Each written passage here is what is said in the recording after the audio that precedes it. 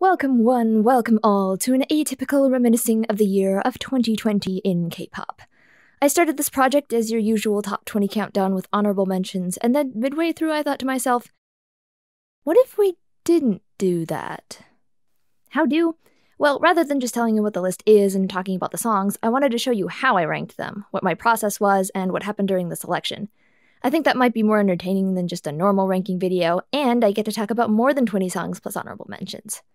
Wait, if your concern is wanting to talk about more, why not just extend the list to 100 entries or something? Who's got time for a five hour video? I don't have time to write it, and you don't have time to watch it. 20 is way more manageable, and doing it this way means I can talk about what interests me and not have to come up with a deep analysis for every single entry when I don't have much to say other than, It's here because I like it. I also change my mind a lot. Not even the final list is completely set in stone. The ranking itself isn't super important, so don't take it too seriously. With that out of the way, first things first. I will be including a separate list for my favorite December releases. The main reason is because I want to release the video by at least January, and I want to give myself enough buffer time to finish the video. Since December is such a busy month, I want most of the work to be done by then, and that means December releases will have to suffer a little.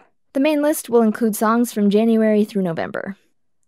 I have a master list recording most of the prominent releases that came out each month, with added categories in different sheets, such as albums and B-sides. Throughout the year, as I entered each song, I would give it a number score from 5 to 11, based on my initial impression of it, and maybe fiddle around with it once I saw how they interacted with each other. This functions as a jumping off point for the rankings. I can get a general idea of the order before fine tuning it. The final list will be mostly based off of, of course, my own personal taste and the songs that connected with me more emotionally. It was around the beginning of September that I had the idea to start writing the script early, and I was a bit overeager to get started. There were at least a few songs I knew were most likely going to stay in the top 20, so let's just start two thirds of the way into the year, why not? Step 1. Go through each month and pick up to five of the best, allowing for less if there weren't many that impressed me. Step 2. Add B-sides. I selected my favorites from each album I'd listened to and added them to the pool. I'm normally pretty selective about the albums I listen to, but I have been branching out more recently, with rookie groups in particular. Also, Everlasting Shine and Into the Island were thrown into the mix. Step 3. Write them all down on paper and cut them up for easy movement. Pick them out of a hat and set up a tournament bracket. Step 4. Listen to everything. I had my brother in the room to bounce thoughts off of and to help compare and contrast. There were some songs I didn't need to hear again because I already knew which one would win. Now, with tournament brackets, it is inevitable that powerful contenders will go up against each other early on and end up getting eliminated. To solve this, my plan is to cut the entries in half in the preliminaries, then regroup everything that lost into another bracket. It would take too long to recount every single pairing, so I'll just talk about the ones of note. Alright, let's hit the brackets and get through the first couple of these. Should be pretty easy, you've gotta be kidding me. Why have I done this to myself? Horizon takes the first block with its piratiness and intricate synth textures and rhythm, defeating the soft sway of the 6-8 time signature of Star 1117 in an epic internal album duel. Not by the Moon was one of the ones I knew was going to at least be in the top 10, if not the top 5. The more I listen to it, the more I like it. Not by the Moon, ready to dominate. Oh, come on! This is why we need preventative measures. Dancing in the Moonlight versus Summer Breeze was where having my brother helping me was a detriment. I liked both songs for different reasons, and both have an energetic catchiness driving the momentum forward. My gut told me to go with Summer Breeze, but I went with Dancing in the Moonlight after some discussion. This was the first in a series of events that led to Summer Breeze getting lost in action. Like, it literally got dropped from the tournament by accident and might have made it into the top 20 had it been integrated properly. Whoops. Her and Fever were fairly evenly matched, Fever uplifts you with a sentimental energy in classic 80s fashion. Also, that snare.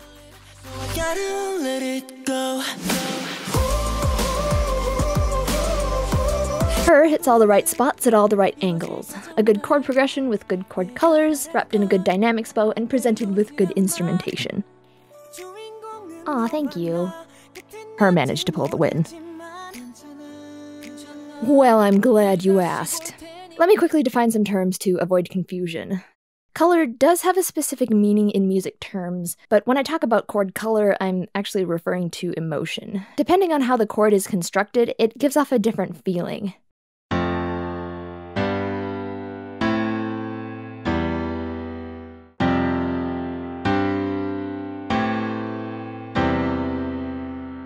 I use the word color because I have no idea how to explain it otherwise. What I mean by dynamics is buildup and release of tension, as well as variation in energy level. This is achieved through the volume and amount of instrumentation and or the variation of speed and complexity in the rhythm.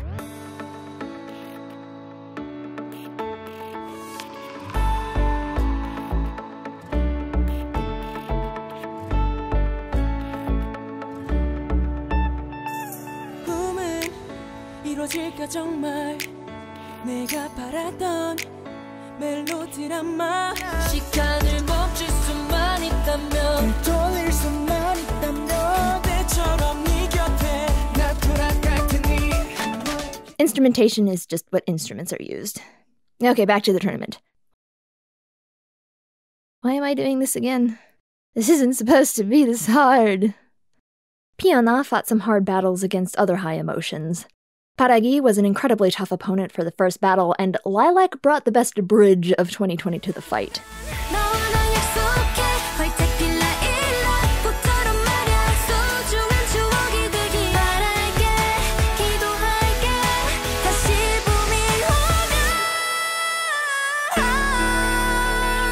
Yet, against all odds, Piona ended up on top. We still is a powerhouse. Cloud9 didn't stand a chance.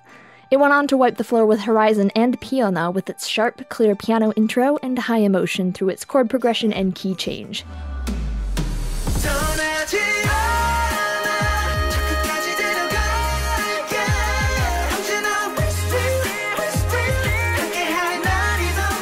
The key change is the important part.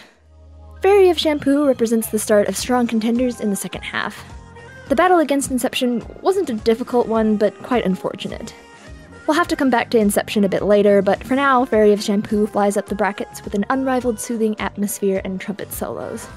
Flowering breezed its way through the brackets with a soft band sound, a spice of violin, and incredible composition and dynamics, but Without You didn't go down without a fight. Flowering took the top, followed closely by We Still and Piona taking third place. Scream defeated Fairy of Shampoo's trumpet solos through epicness and lyrical poignancy. Can you feel the pain? I did a few mini tournaments to hash out the middle ranks, and the first half of the top 20 hath been created. Yay. I then took everything that lost in the first round and paired them up for an opposite side brawl. Paragi immediately flew to the top. There was no way I was going to lose to anything else. I couldn't decide between Into the Island and Tiroa. I ended up not having to choose because whichever one was going up against Paragi, so what's even the point? Alright, time for Dr. Bebit to finally get some recognition. Eddie? No, how did this happen? Why? There's not too much more to talk about with this round, but we'll just, uh, we'll put a pin in that. Inception took number two by being the first ATEEZ title track I loved immediately. Other title tracks had to grow on me before I was completely in love with them. Hands down, their best title track. Knock comes in at number three as another solid Astro track with stellar verses.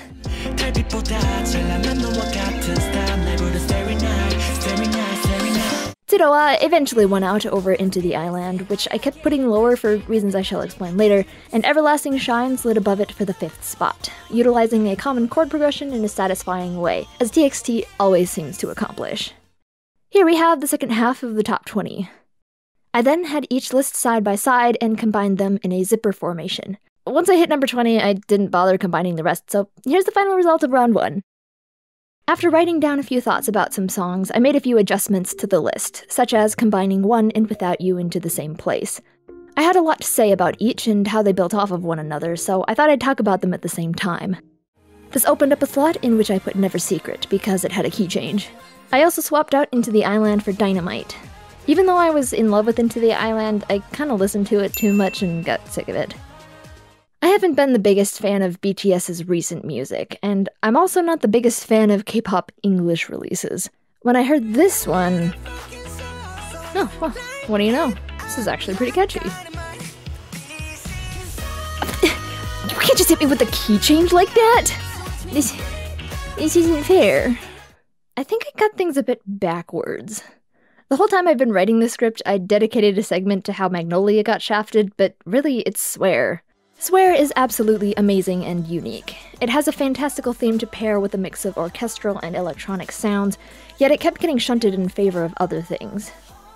There was one criticism I kept going back to, which was that after the tempo change, It has a tempo change. I felt the chorus was a bit too fast. And once I labeled it with the criticism, that's all my brain would come back to when comparing, even though, looking back, I don't think it was that much of a big deal in the first place. While I still don't think the chorus is the strongest of strong choruses, the verses more than make up for it. I thought Dr. Bebe was going to get a lot higher than it did. I was enthralled when it came out, calling it the best of 2019 so far. You mean 2020? Yeah, that's what I said. February is pretty early yet, and the more that came out, the better the releases got, so it fell down the list. It is still in the top 20, though.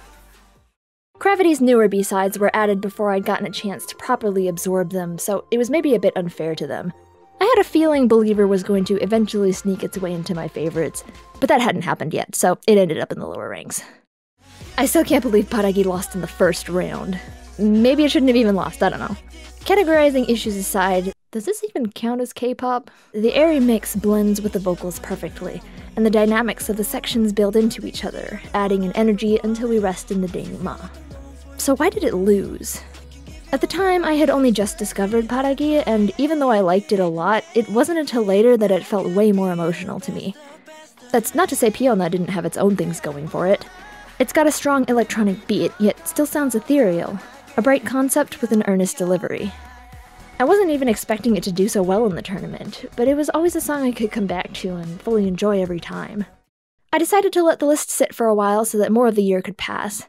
I didn't want to do too much work only to have to change it once some new stuff dropped. I knew there would be amazing releases to come, and I wanted to give them a fair shot.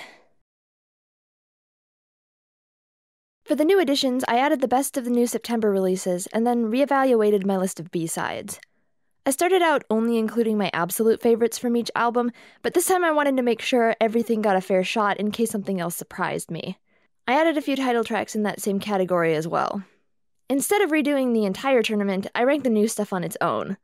For the preliminaries, I left out a few I knew were probably going to jump to the top 20, but I'll talk about them later. After pairing everything, I had one left over, which was Precious, and then there were a few I remembered after the fact, but didn't end up incorporating since I was already too far into the tournament. We can throw them in next round. After setting up the brackets, the first pair presented a problem. Song of Ice and Fire was included since it had grown on me, and I wanted to talk about why I liked it, but picking between it and Dokkebi was going to be a tough decision. So, I went to the opposite end and still had a difficult time deciding. No More also had interesting things going on, but overall style wise, it wasn't my thing, whereas My Universe was much more up my alley. I ended up going with My Universe for that reason. Good Little Boy versus Breathing was also problematic. They're incredibly different in style and have different positives working in their favor, but those positives don't really cross paths. I ended up having to swap out Breathing with something else to make the decision easier. The Boyz' music presents a bit of a paradox for me. Even though I love most of their title tracks, the B-sides usually don't do it for me, Clover being the one exception. When I happened upon Salty, I'm not sure if I like this or not. It eventually wormed its way onto the list and started climbing. It has such an interesting composition. It uses chords and rhythm I like, but also throws in some weirdness that keeps you on your toes. But because of that, it doesn't quite have enough elements I like to shoot it to the top 20. Miss You was something I threw in because I remembered liking it, though I'd only listened to it once, which is not good for tournament purposes. We'll have to see how it holds up once I give it more listens. Hmm. Something doesn't add up here. But What even are these chicken scratches? I was being a bit less structured when I put the September brackets together using only the pieces of paper. At the time, I was still planning on doing just a regular top 20 countdown, so I wasn't strict on making sure everything was documented. I think the only reason I actually wrote anything down was because I had taken a break from it and left everything out. Then my family was moving furniture around, which included the table I was working on, and I had to quickly write things down to keep track. Then I think I just messed up on the bracketing. What even is this? I said I wanted to talk about why I liked Song of Ice and Fire, so here we are. Song of Ice and Fire incorporates a bunch of different beats, and even though I'm not as into funkiness, I like the groove here, as you might expect for producers named Groovy Room. I like how the chorus changes up the rhythm. It makes the shift back to the groove more impactful. Once I had time to fully digest it, CRAVITY's second album gave me a new appreciation for the soundscape of the first one, contextualizing songs like Stay and Star, which rose to prominence, even passing Cloud 9, which was my favorite at first.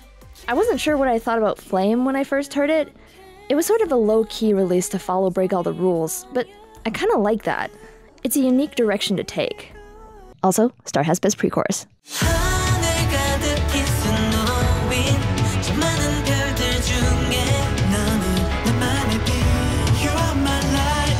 I quickly discovered that Rocket Punch's tracks did not hold up in the ring at all, which surprised me because I thought it was a solid album.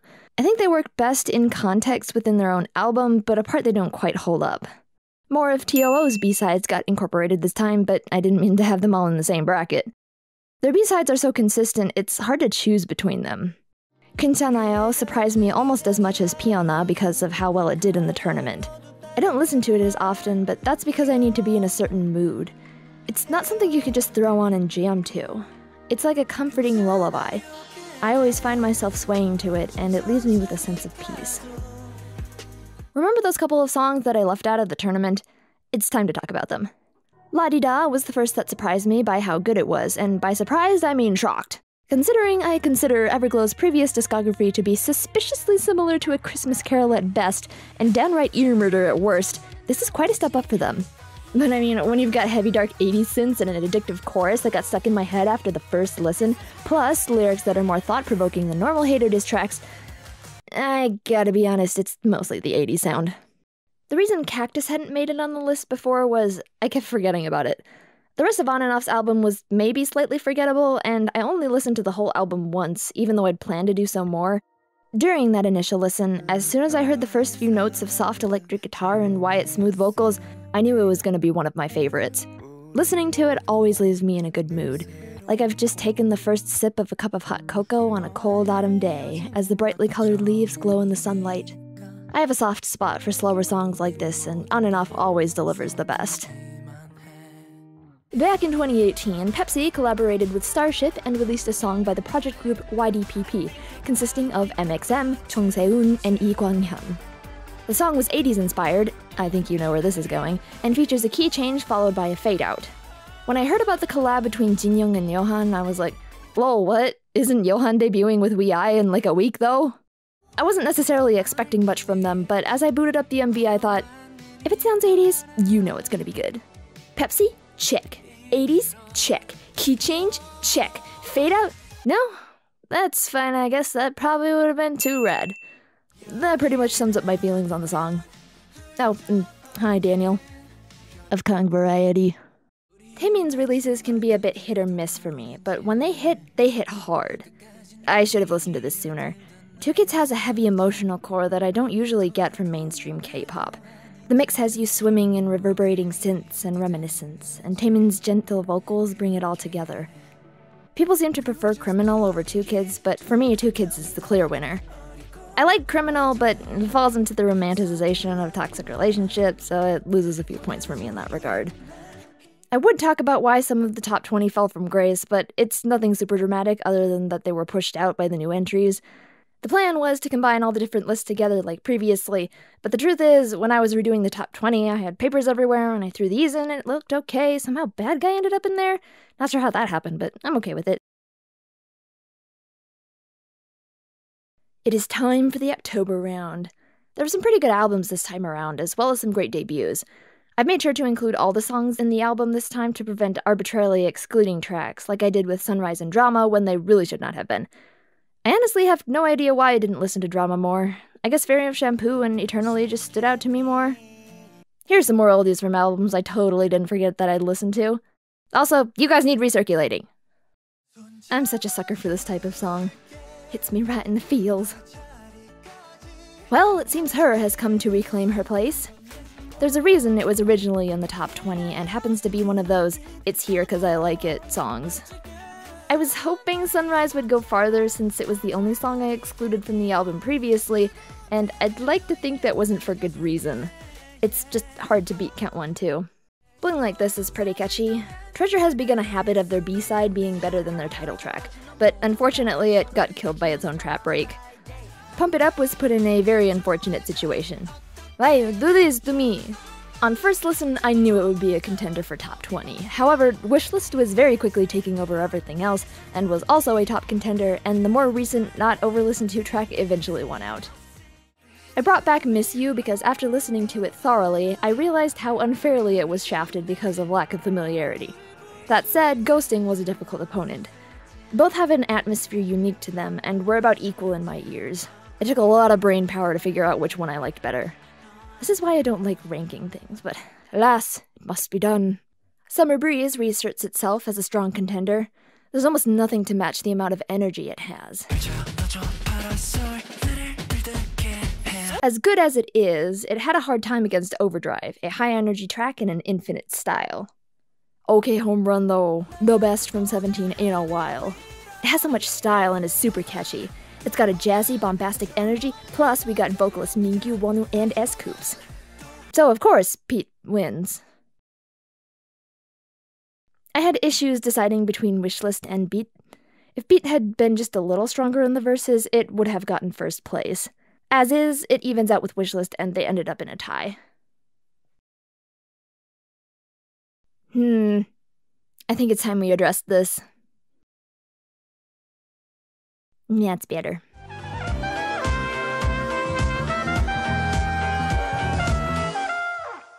Hmm, here, Sphere of Shampoo definitely fits in the number 7 slot.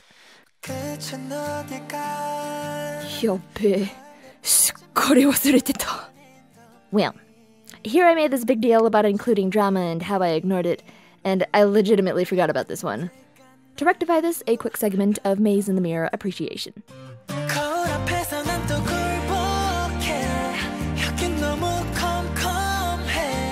And no, Puma doesn't get a seat at the table.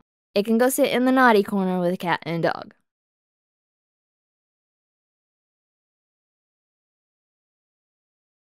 Perfect. What can I say? It's my jam. You know what? Mm, no, this isn't gonna work. After sitting on the October list for a while, I realized I needed to reevaluate. It wasn't long after I'd finished the list, and I was unhappy with the results. The issue wasn't with the tournament itself, but with how I ordered them afterward, so I figured I could methodize it a bit better without having to redo the entire tournament. I found it difficult to compare songs with severely different moods. It's the same problem I had with Good Little Boy versus Breathing, and it didn't seem fair to put one mood over another. There's no better exemplification of this than SF9 versus SF9. On the one hand, you have the energetic banger that gets you hyped up and is super fun. On the other, you have the emotional roller coaster of feels with the added effect of it being dedicated to the fans. How are you supposed to compete with that? So, I elected to make this type of song its own category. I also took the liberty of officially eliminating a bunch of songs so things will be a bit easier to manage. Farewell, you won't be forgotten. Huh. We have two songs with off pitch synths in the same month.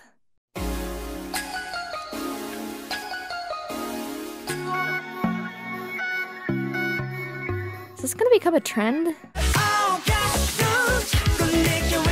Wait, why do I suddenly love this?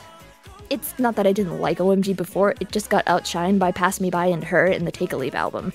Speaking of Pass Me By, it also made a comeback by appealing to my childhood ears. Also, Fade Out. Drippin's album is so unapologetically Woollim, and I love it. That's not to say that Woollim artists all sound the same, but they emulate each other while being distinct, and Drippin is another fantastic addition to the family. They continue the tradition of having all the members sing during the chorus, which has double the impact being in two parts, especially in Pete. Pete hits a sweet spot for me, sort of like Her does, which is why it's my favorite. They even have the same chord progression. The WEi album was kind of interesting. Three of the songs are in such a similar vein, I almost considered clumping them together as one unit for all the difference it made to me quality wise. Even though they have some distinct elements, they kind of sound like the same song.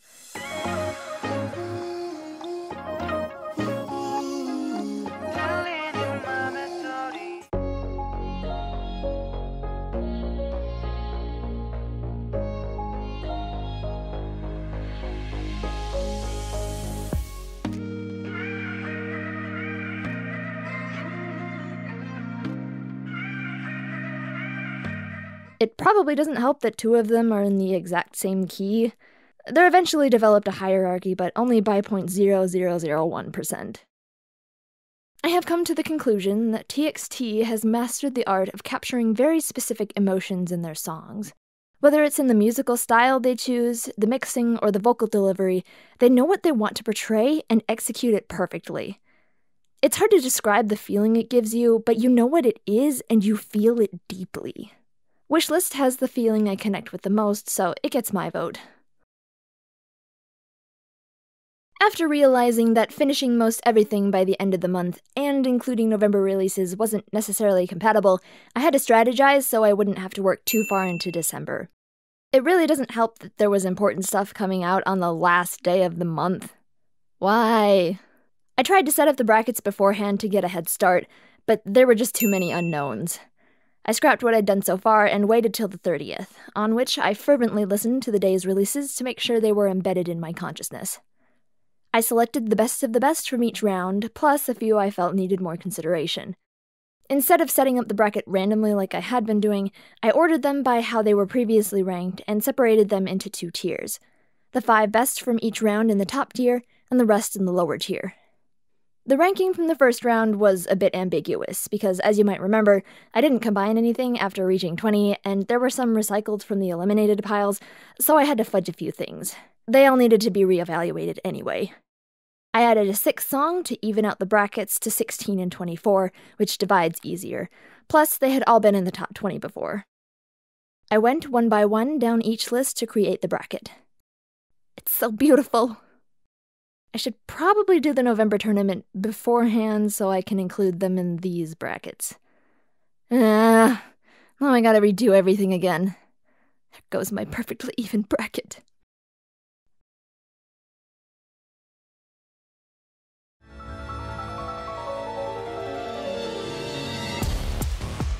I don't normally include intro tracks, but this, Given Taken takes the first block with a hauntingly beautiful harp and unsettling energy. The timed signature confuses me. You can hear the first verse in 3 4, and I thought the rest of it was in 4 4 because of the chorus. But I'm pretty sure it's in some form of compound meter, identified by subdivisions of 3. But I'm not entirely sure which one. Ten Months seized me by the ears and got me addicted immediately. It kept telling me it deserved to be number one, but Given Taken refused to be beat. It rose to its feet to face the addictive opponent. I should probably explain why the Pentagon songs are here instead of in October. The truth is, I didn't like Daisy when it came out. I thought the chord progression was overused, which isn't inherently a bad thing as long as you do interesting things with it, and I didn't like the color of the chords. But then it grew on me, and I finally listened to the rest of the album, and boy am I glad I did. Beautiful Goodbye is what I would have wanted in Daisy. It's much more my color, and the bridge has a soft elegance, bringing the whole song together. Paradise exudes second gen K pop, except for the trap break. Cross the Line subverted my expectations being an outro, and actually in 3 4. I love the creepy circus vibes and the children's voices. It had to go in, even though I don't normally put in intros and outros. The brackets were dominated by ENHYPEN, E'LAST, and Pentagon. I definitely did not expect both E'LAST intro and Cross the Line to get into the top 5. I made the cutoff at 12 so I could add 6 to the top tier and keep it an even number. I eliminated the bottom 5 and threw another day in with the chill songs. The first few blocks of the top tier bracket were harder to hash out than I expected. We had the dark horse of Give Given Taken, which I was expecting to win, but after I listened to Turowa to make sure, I only got more confused. I can't just dismiss Turowa like that. Then we had Stay versus 10 Months. Even though 10 Months had me by the ear and I was tempted to shoot it to the top 20, I had to reel myself in. Since this is the final round, I have to consider the likely longevity of the addictive songs. I had to look past my initial infatuation, since songs with more musically interesting compositions are more likely to last in the long run. To help with that, I needed a second opinion. After discussion, I figured Stay had more interesting dynamics and advanced it. Through the same process, Given Taken was declared the winner and topped the block. It was really hard to evaluate Cross the Line against other songs because it's in such a different category. Indeed, I was halfway through ordering the songs when I took a hard look at the intro and outro and thought, yeah, no, they belong up here. Even though Give Given Taken won the November bracket, it's such a close match against Beautiful Goodbye. I ended up changing my mind and giving it the win. So for the lower tier bracket, okay, hot take. I think Believer is top 20 material. So that's how this happened. Love Me or Leave Me reclaims its place as a top contender, passing the grooves of Step by Step and OMG. Orange continues the trend of Treasure's B side being better than their title track. There's a key change this time. I was expecting Eternally to win, but La La La La came in with great dynamics and stole the win before losing to Memories, which has an addictive blend of reggae and synth pop. So, I have thoughts about Boca. I'm not a fan of the rap parts in the verses, so it always had that going against it. However, the emotion hits harder than in Scream. It might have even overtaken Scream had it not been for the lackluster verses. It was up against Shower of Rain when I considered exactly how much the raps detracted from Boca whether it was worth losing here when it can consistently make me tear up. Believer beat it in the consistency category and has more complex textures, but you know what? Excuse me for a second. Guys, I swear I like Sunrise. I don't know why it keeps losing. Remember when I was talking about how Two Kids has a heavy emotional core? The only other song that comes close to that particular feeling is CIX's Revival, I've had this on the back burner of my mind to talk about, and you may be wondering if it's so close to Two Kids in feeling, why isn't it in the top 20? It's got a bit of a split personality. I'm not a fan of the chord color in the verses, and the melody feels like it's repeating too much. But when the chorus hits, especially the last one, it takes me to a different place. Because of this split personality, it was a bit hard to rank. Ugh, that took way longer than I thought it would, you have no idea. I took more care in settling on the top 20 using a different set of qualifiers. The top 5 has the most emotional connection to me. There's not much to talk about here since nothing has changed since last round. The next five are the best constructed, or songs I consider to be masterpieces of music writing. I focused on the placement of Without You on its own since one was tied to it regardless. I'm going to save my in depth analysis for another video, so I'll briefly summarize on why I think Without You and One are masterpieces. Without You utilizes spatial soundscapes, swapping between using heavy reverb and cutting to a much closer mix. It subtly layers complexity to raise the energy, and structurally, it doesn't have a bridge or third chorus. One expands on those elements in different ways, attacking the similar but not identical structure with more intensity. This resulted in them becoming sixth place. Given Taken made me question Not by the Moon's placement. They have a similar dark epicness, and the harp plus time signature pulled Given Taken ahead, and is where I again changed my mind on it versus Beautiful Goodbye. The bottom 10 repeat the pattern of emotional to well constructed, though 11 to 15 has some overflow from the masterpieces section. I was still unable to break the tie between Pete and Wishlist, but that just means more open slots, so I'm not complaining. I believe and Pump It Up were casualties of the switch in structure. They fall under the more highly catchy, addictive category, but are still fantastic in the composition department. As you saw earlier, Believer was originally number 20, but got pushed out by Boca sliding into 18th place, leaving Dr. Bebe at the final slot. Knock and Her said their final goodbyes, and Afraid was retired to the chill emotional ballad list. I'm fairly certain I'm satisfied with the final list, but who knows how long that'll last.